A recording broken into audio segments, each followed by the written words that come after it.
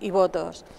A partir de ahí, bueno, pues se abre, digamos, una mesa endiablada, que sí, sí que es cierto, porque los independentistas, pues entre sí, que sí que suman esa, esa mayoría, y mayoría absoluta, si forman RC, Junts y la CUP, pero no veo a la derecha catalana con la extrema izquierda catalana en, un, están en entre ellos. Entonces, claro, pero si solo vemos, que a mí me, llama mucho la atención,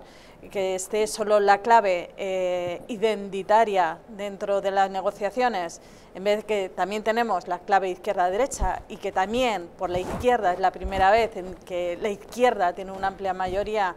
en, estas elecciones es llamativo. Y máxime cuando en todos los eh, debates que hemos tenido previos a las elecciones,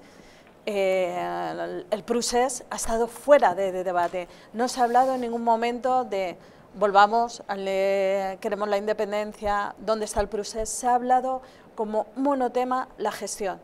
la gestión económica, la gestión sanitaria, eso ha, estado el, ha sido el eje de toda la campaña para todos los partidos políticos, hasta para la CUP. Entonces,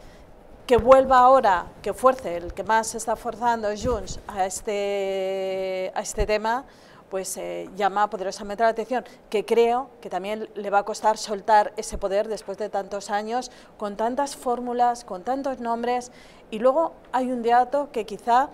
estamos pasando por, por, alto, pero en Bélgica el señor de Waterloo debe estar muy triste, porque es que ha dejado de ser ya el presidente, ni ya hay un nuevo, una, un nuevo... Bueno, bueno, todavía no hay un nuevo